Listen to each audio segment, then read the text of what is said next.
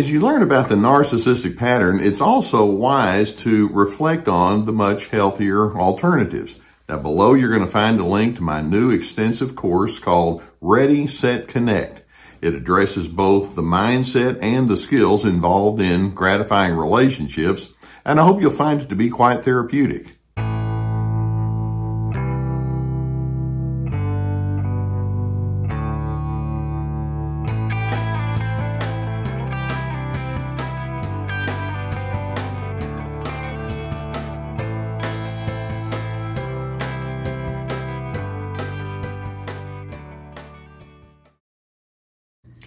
Whenever I would talk with individuals who had ongoing engagements with people inside the pattern of narcissism, one of the things that they would not tell me is they would not say, I feel a sense of wholeness.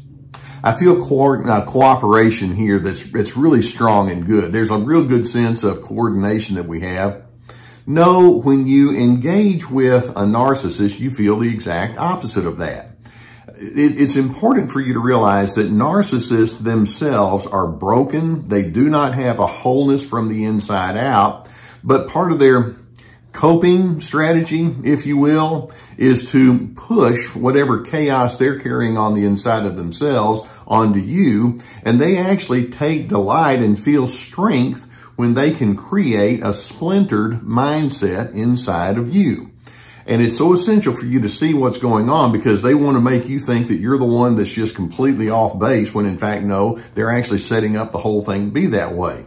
Narcissists, when they encounter you, they want to infiltrate your priorities. They want to infiltrate the way that you interpret life or they want to infiltrate your reputation. They want to take over your opinions. Sometimes they just ghost you and, and uh, make themselves to be consistently inconsistent, and all the while, they can create a sense of confusion within you. And the more out of kilter you are, then in the end, they get to walk away thinking, see, I'm the better person here. Now, to give you an idea of how this can impact you, and I know that many of you are hurting because of your ongoing relations with these kind of people, I, I have here some things that I've jotted down. It's a, it's kind of a journal of uh, actual comments that I've received from people who have had this splintered off kind of feeling with a narcissist. And I want to go through some of these, and I want to see how many of these, uh, you might want to see how many of these that you can relate to on a personal level. One person says, I used to have a positive opinion of myself, at least around certain friends, but I've been told so many times how phony I am that I don't know what to think about myself anymore. Or another person, my family story has always been about how awful I am, but I'm just different. That's all. Another person says, I have so many memories that I'm ashamed of. I've been so worn down by my ex's rages and accusations that I started acting just like him. And then I would think to myself, this is not me, but it was me. You ever think that way? Or this next person says, I, I got out of one really bad relationship and somehow found my trap, myself trapped by someone else who was actually worse. I've totally lost confidence in my ability to choose wisely. Another individual puts it this way. This person says, when someone abuses you like I was abused, it creates so much rage inside. I have so many memories of wishing I could die and then feeling rage toward myself for letting it get to me so deeply. And my heart just breaks when I hear something like this. The next person says, I would argue and argue with the narcissist about his interpretations of me, but then I was made fun of and ridiculed so many times for my bad memory. And then I would doubt my version of what would happen. I still have that problem, even though he's gone now.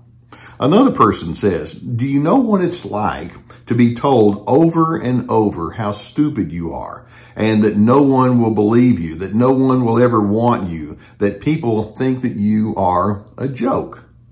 This next person says, when I'm around the narcissist people, um, is the way they put it, I get paranoid because I don't know what kind of crap he spread about me.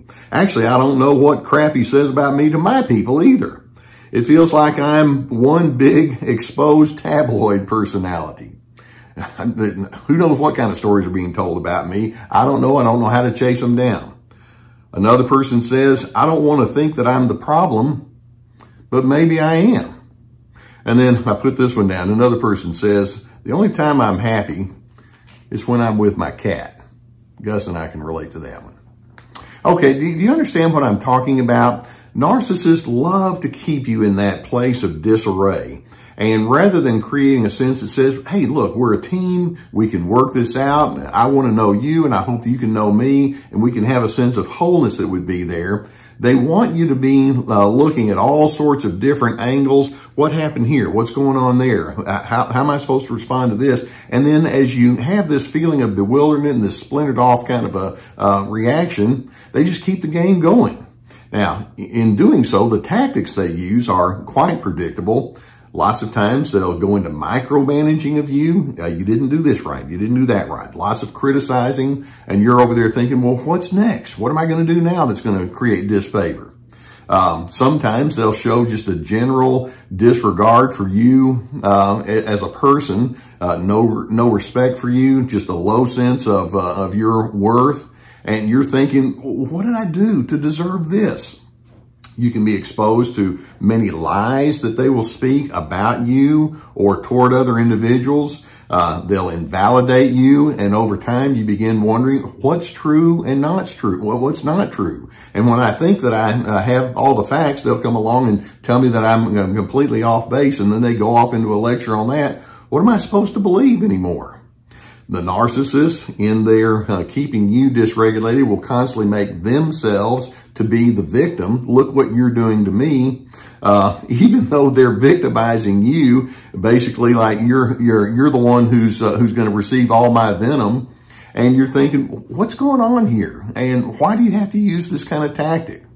Uh, the narcissist can jump from one topic to another. They can create a lot of circular arguments. It's like when you start talking about one topic and they don't feel like they're getting traction, they'll jump to another topic.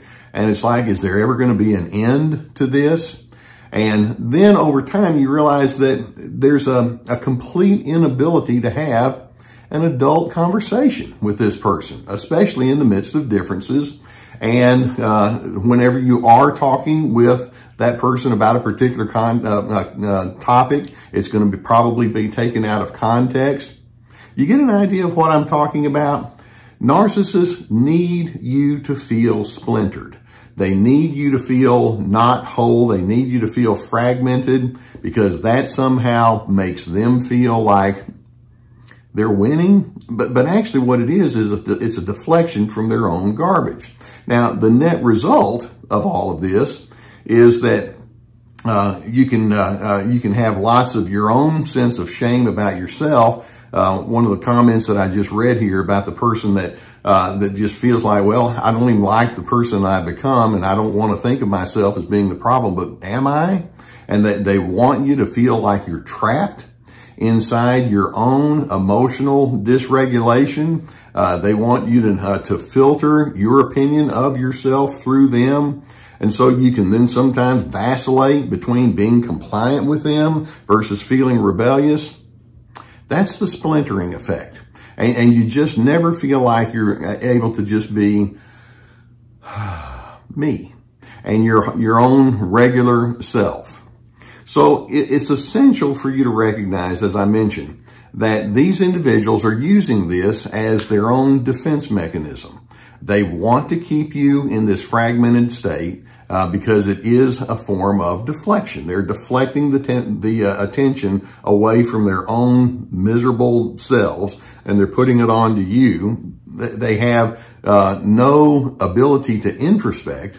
They have no ability to say, you know, we have some difficulties here and I want to talk with you about what, what this does to me because I, I know it triggers something in me and I, I want to talk with uh, what is going on inside of you. They can't do that. They can't think that way. It's all about their own uh, self. They want to create a uh, their own alternate reality that they live inside of. They want to bring you into their alternate reality. And by the way, uh, not 99% of the time, but 100% of the time when they are constructing their alternate reality and you don't know which end is up, it's always about them. It's always going to be to their vantage point. So keep that in mind. So as you try to figure out how am I going to manage myself, knowing that they're trying to bring this splintered mindset uh, toward me and they want to create that inside of me, first and foremost, recognize who you're dealing with. The truth is that you are dealing with somebody who's grossly immature. You know, one of the marks of maturity is uh, for a person to say, hey, look, I have some self-examination. They can't even go to step one on that. They're just in raw impulse. They're, uh, they're like a whining kid and blaming and kicking and screaming and throwing a temper tantrum, except they're a little bit more sophisticated, maybe, as an adult know what you're dealing with and know that when they try to make it about you, it's, there's tons of projection going on there. And then separately, I, am hoping that you can uh, recognize, wait a minute, there's a truth about me that I need to come to terms with. Who am I and what are my good skills? And what do I know about my worth and my value and my interpretations and my take on life? And you need to learn to trust in who you are separate from that other individual. It just makes no sense in a strategy way to, uh, to think, well, what I'm going to do is I'm going to take my cues from the person who brings chaos into my life. No, you don't need to do that. Uh, instead, not only are you going to need to clear your mind from uh, from the, all the confusion and fragmentation that they create on the inside of you, but you're going to need to remove yourself from that person in such a way where they're just not continually uh, creating clutter inside your emotions and inside your thinking process. Now, narcissists need you to feel fractured. They need you to feel splintered. But on your side, it's like, well, I need to feel whole. And part of being whole is pulling back and having a healthy definition of who you are. And it may be that you'll need to pull back and talk with some individuals who are not bringing all of this chaos to you, whether it's a therapist or a close friend or a support group, so that you can uh, get back to your basics and, and make sure that you are, you are not going to uh, be the one that is living out their chaos through your fractured reactions uh, I'm hoping that you can determine I can't count on that person to join me. Therefore, I'm going to individualize my efforts. I know there's a whole person inside of me waiting to come out. And that's what I'm going to give my highest attention to. I hope that videos such as this can remind you of what you're dealing with. Like I say, I know many of you are struggling and hurting and you feel like there's this confusion on the inside. It doesn't have to be that way. Uh, one of the reasons that I put these videos out is I continue, I want you to learn how to find your peace. And if you've not already hit the subscribe button, I would encourage you to do so because we're going to try to uh, approach this topic from so many different angles so that you can have a, uh, a growing and healing, uh, you can have a growing and healing impact toward you. Uh, if you haven't, uh, so hit that subscribe button if you, uh, if you will, and hit the like button as well. if you if you have a need for therapy, and I know many of you could use that, uh, we have a sponsor, uh, the people at BetterHelp.com. They have uh, there's a link below that will take you to their website. They have a whole team of licensed professional therapists. It's online therapy. It's very accessible and it's affordable. And I've had good feedback from people who have sought that out please uh, seek the help that you need if, if that's something that would really be appropriate for you.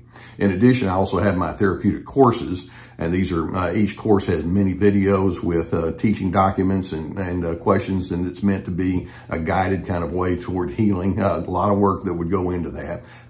we have Ready, Set, Connect about having good connection skills free to be, about finding yourself despite the controllers. This is me, which is our most popular one about setting boundaries with the control, uh, with the, the narcissist. We also have my podcast. For those of you who are in the podcast world, my books, we have our website with many articles and then other resources. So I, I, I'm so appreciative when you allow me to be on your journey with you. Narcissists are chaotic on the inside. They want to bring their chaos and transfer it into you and make you think like you're the nutty one. Don't buy it. Uh, there's a whole person inside of you that needs to come out. And as you uh, make your efforts to, to find that person and define who you are, I'm hoping it takes you to your place of steadiness and calmness. Because in the end, I'd like for you to be a person who's able to find peace.